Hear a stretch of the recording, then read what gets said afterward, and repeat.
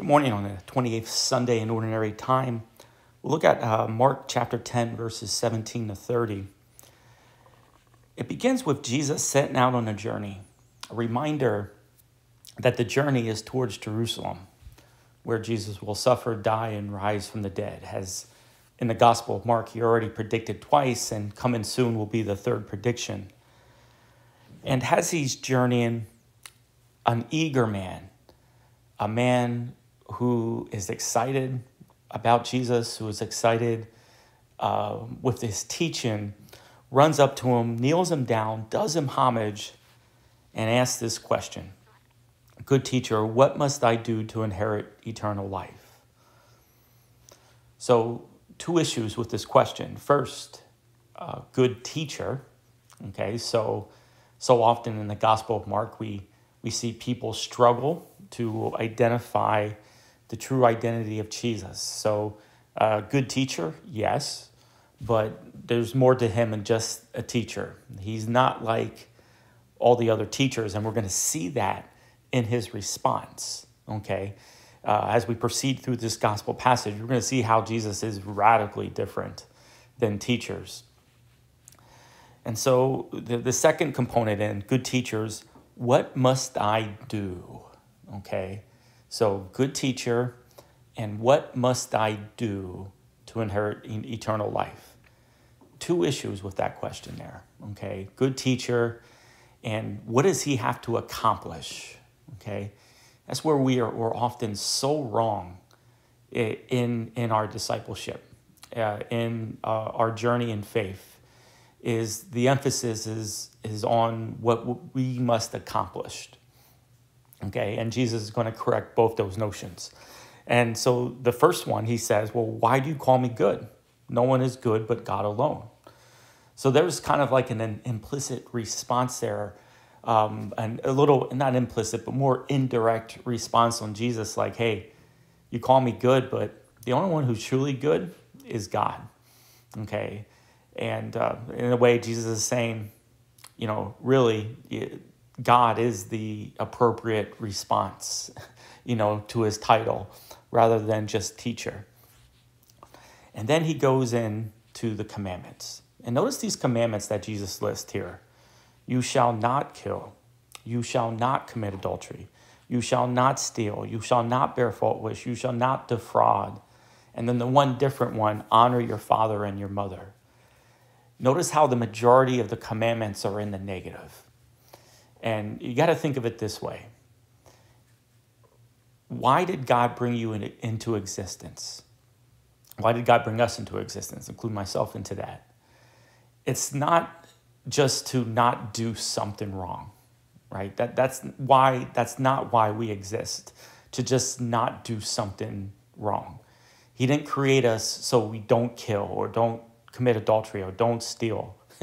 you know, but sometimes you know that's that's kind of how we we, we base our lives and that's how we, we base ourselves in our stance to god. Well i haven't done these things wrong so i'm pretty good.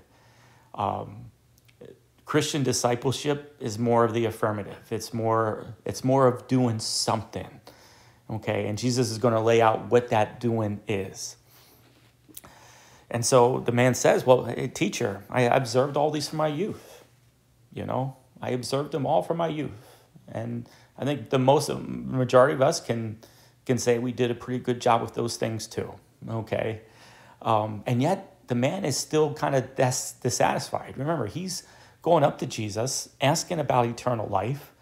There's something longing within his heart that he wants, and deep down he knows that this life and his very meaning of his life and existence must be more than just not doing something. Okay, so, so he's looking for this. And as we're going to see in Jesus' response, he's, he's going to kind of regret asking this question. And so Jesus, the only time in the Gospel of Mark, looks at him, loves him. Okay?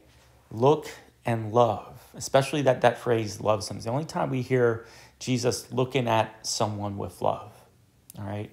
He, he admires the man's eagerness. Okay, this, this isn't this isn't one of these confrontations, you know, that, that we've heard throughout the Gospel of Mark between, you know, Jesus and the Pharisees or the scribes.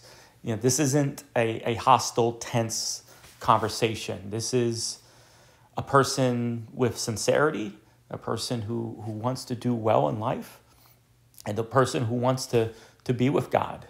Uh, and Jesus recognizes this. But now here's, here's the kicker here go sell what you have and give to the poor. And then you will have treasure in heaven. And then follow me. So, the way to inherit eternal life is to give up everything that you have and to follow him. A good teacher will not say that, right? This is, this is why the, the first part of, you know, good teacher, uh, you know, that's why it's problematic, okay? You would almost say, like, you know, any teacher that would say that to give everything that you have and then follow him as the way to eternal life, no teacher can promise that. No teacher would dare to ever make a recommendation like that. You know, yeah, follow me for some guidance and, you know, some path maybe to joy and happiness. Yeah, but to eternal life, to give up everything that you have and follow him, the only one who can ever make a claim like that is God Himself. You know, that's it. Another implicit, uh, indirect reference to His divinity. And notice that, you know, the, the commandments that Jesus lists, that's the Decalogue, that's, that's in the Old Testament.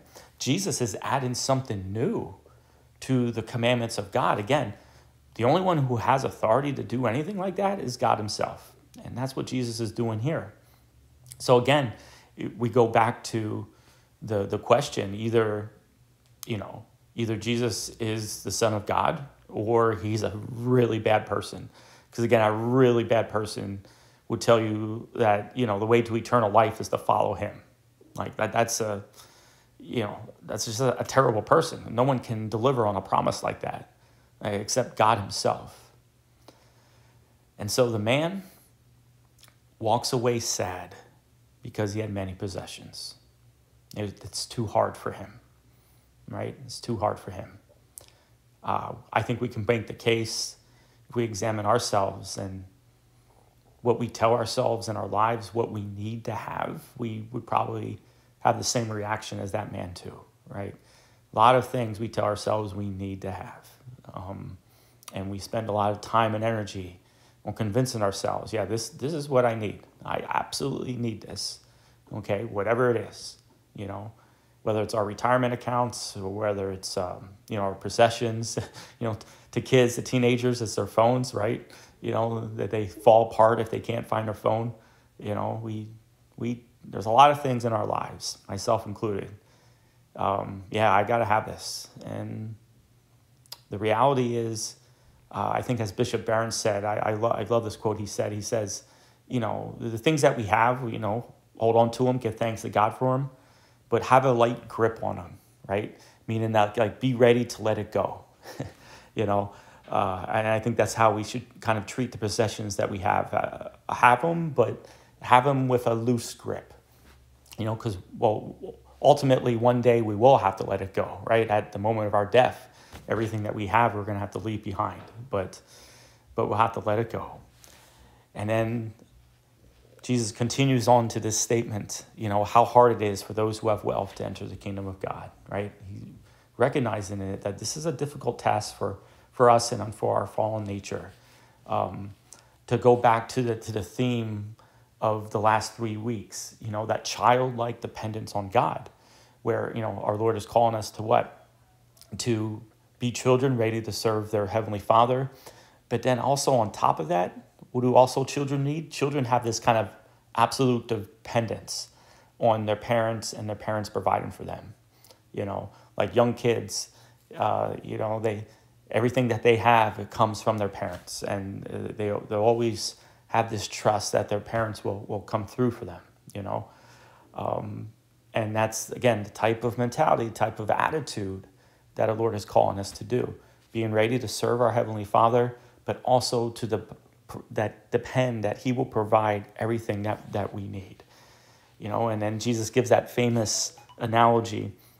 Uh, you know, it's easier for a camel to pass through an eye of the needle than for one who is rich to enter the kingdom of God. You know, that exaggeration on the part of Jesus uh, that, that we hear often, especially in God, uh, Mark's gospel, that extreme exaggeration, just like we heard a couple weeks ago. You know, if your left hand causes you to sin, cut it out. It's the same type of mentality our Lord's given us here. You know, it's easier for a camel to pass through an eye and a needle, but as he tells the disciples, here's the moment of hope for all of us. With God, all things are possible. You know, so again, going back to the initial question, the man's like, okay, what do I have to do? What do I have to accomplish? And really, the answer is nothing. It's it's God who's going to accomplish it for us.